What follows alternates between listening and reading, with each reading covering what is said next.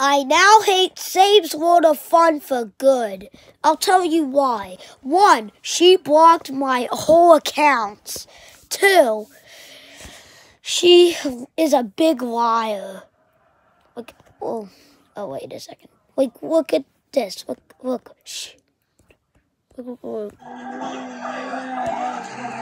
on a second. Look, look, look, look, look. Look at that baby. This is so stupid. This is harassment.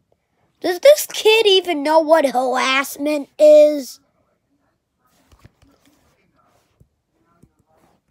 Like, um, hello? Oh, actually blocked her? Him? This whole time? Like, I'm sorry, Sabes. You're gonna screw this up? I was gonna give you 15 chances, but I was worried. No.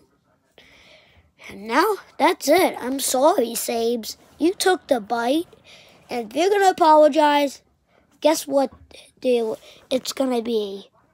When you apologize, I will. It will be. Alright? So, Scabes, I'm not scared of you. I don't care if you have more subscribers than me. I have more views than you. Mean, not in all. Like, I got a lot of people watching my videos. So, sorry, Sabes.